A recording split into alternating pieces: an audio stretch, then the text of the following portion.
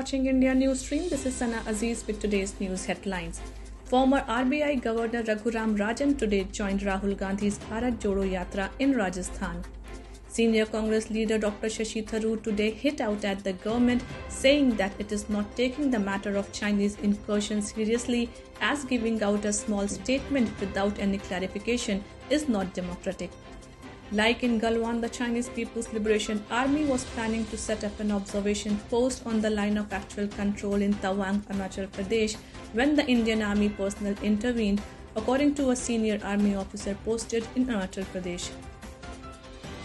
The Enforcement Directorate today arrested Uttar Pradesh mafia don turned politician Mukhtar Ansari in connection with the prevention of money laundering case.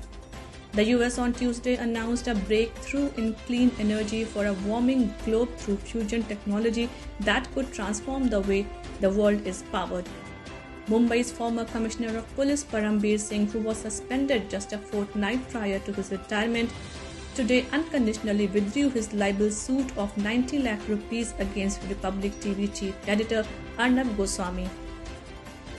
Lionel Messi kept his World Cup dream on track as he scored one and set up another as Argentina romped home into the final of the FIFA World Cup with an emphatic 3 0 win over 2018 finalist Croatia. Five year old child of Indian descent died after falling from a high rise building in Al Qusais, east of Dubai. With the water level in Satnur Dam almost full, a flood alert has been issued in Thiruvannamalai district of Tamil Nadu.